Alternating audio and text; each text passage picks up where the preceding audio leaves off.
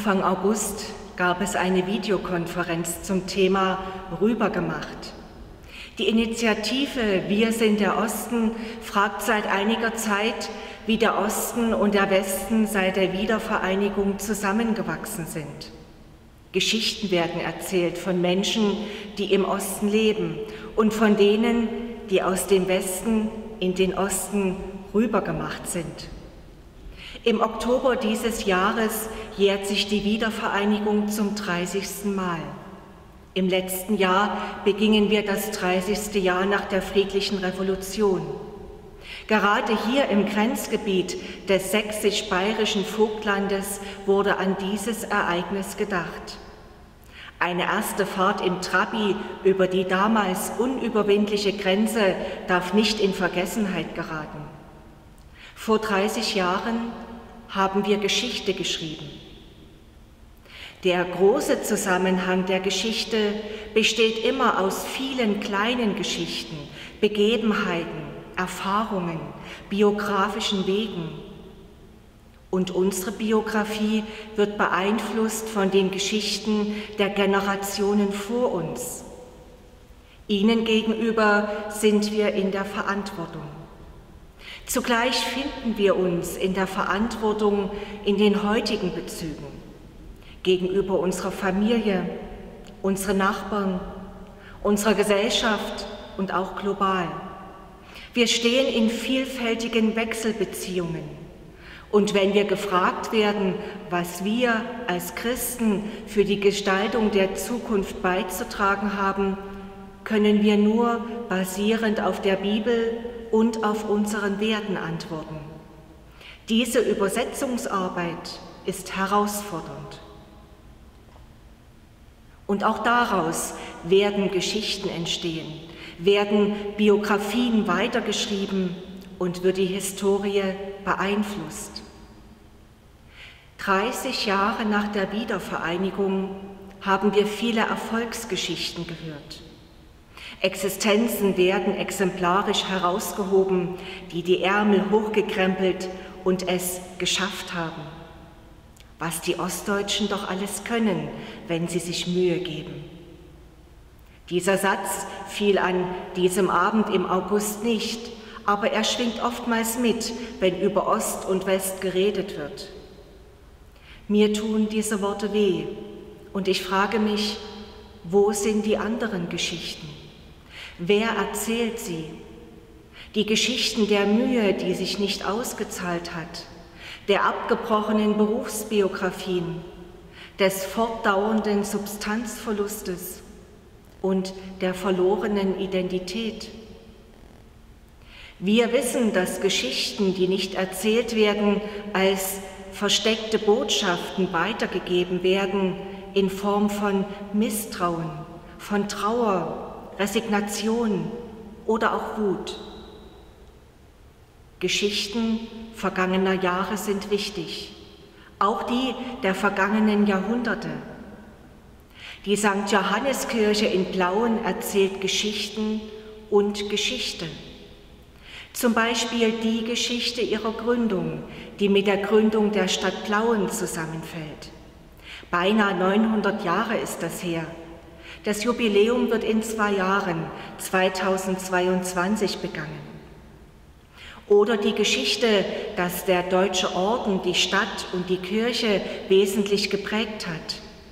Bis heute ist sichtbar, wo die Kirche mit dem benachbarten Konventsgebäude verbunden war. Ortsgeschichte, Heimatgeschichte. Doch im Zentrum steht die Erzählung von Gottes Sohn von Jesus Christus, von Maria geboren, am Kreuz gestorben, zu Grabe getragen und am dritten Tage auferstanden. Wir Christen glauben, dass mit ihm der Messias, der Retter in die Welt gekommen ist.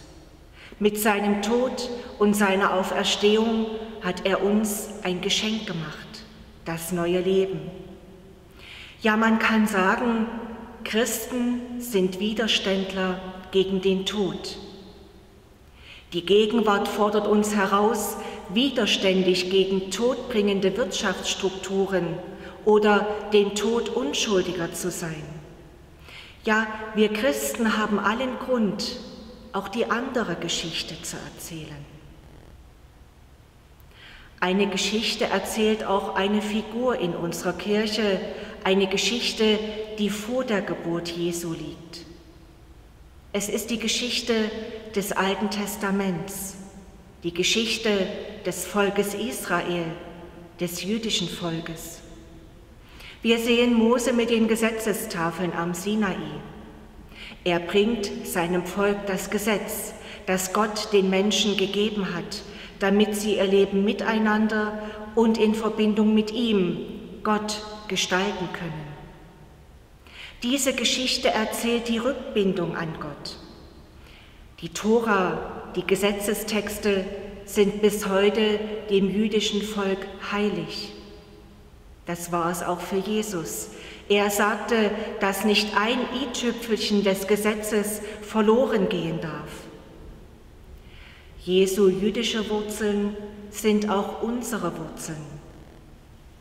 So finden sich die zehn Gebote im Katechismus. Sie gehören zu den Texten, die jeder Christ kennen und achten soll.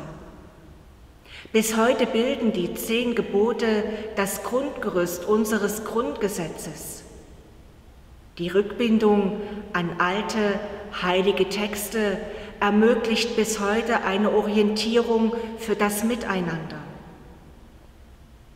Am Israelsonntag, im Kirchenjahr am zehnten Sonntag nach Trinitatis, gedenken wir Christen an unsere Wurzeln, die im Alten Testament liegen und an die uns die Figur des Mose erinnert. Das Neue Testament fußt auf dem Alten Testament.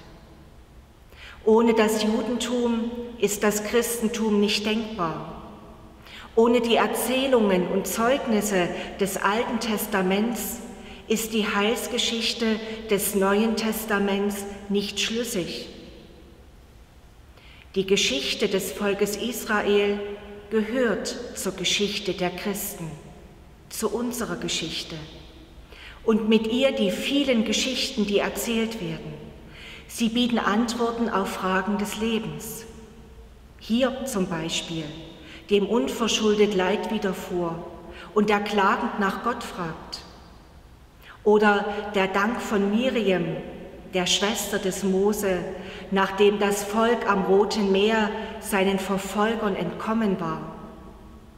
Oder die Worte der Propheten, die immer wieder das Volk erinnern und zur Umkehr zu Gott rufen, an seine Gebote und Gesetze erinnern.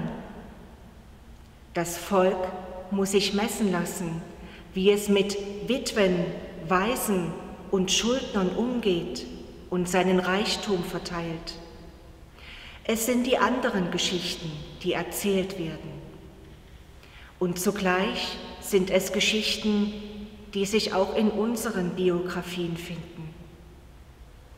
Zusammen ergeben sie die Geschichte Gottes mit seinem Volk, die in Jesus Christus sein vorläufiges Ende fand und die dennoch weitergeht. Für uns mit den Worten des Lebens, die Jesus spricht.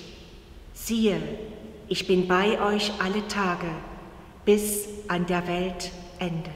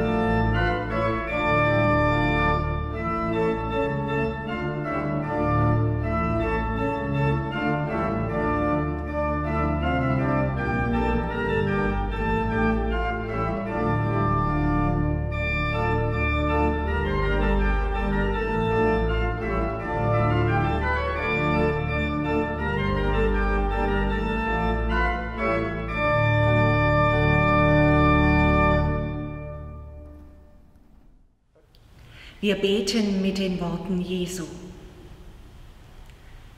Vater unser im Himmel, geheiligt werde dein Name, dein Reich komme, dein Wille geschehe, wie im Himmel so auf Erden. Unser tägliches Brot gib uns heute und vergib uns unsere Schuld, wie auch wir vergeben unseren Schuldigern. Und führe uns nicht in Versuchung, sondern erlöse uns von dem Bösen.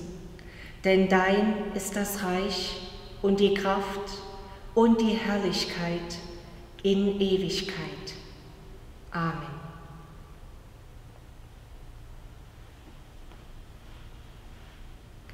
Der Herr segne uns und behüte uns. Der Herr lasse leuchten sein Angesicht über uns und sei uns gnädig. Der Herr erhebe sein Angesicht auf uns und gebe uns Frieden. Amen.